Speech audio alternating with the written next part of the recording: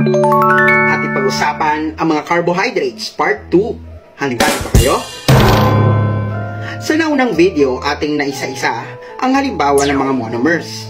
Kapag nagsama-sama mga monomers or mga monosaccharides, ay makakabuo tayo ng disaccharides. Di means 2, saccharides means sugar. Ito ay mga two simple sugars na pinagdikit sa magitan ng glycosidic bonds. Ang mga halimbawa ng disaccharides ay, una ay lactose. Ito ay sugar present in milk or dairy products na binubuo ng glucose at galactose. Maltose naman, ito ay ginagamit sa production ng serbesa or beer na binubuo ng dalawang glucose. At ang pangatlo ay sucrose. Ang sucrose naman ay ating table sugar na gawa sa glucose at fructose. Note, nabubuo ang disaccharide sa magitan ng dehydration reaction na ipinaliwanag sa video na ito.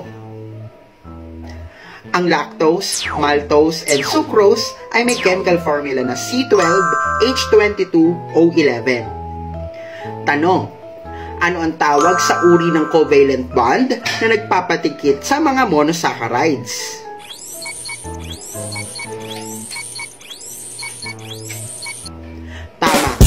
Tamang sagot ay glycosidic bonds or glycosidic linkage. Mau, husay!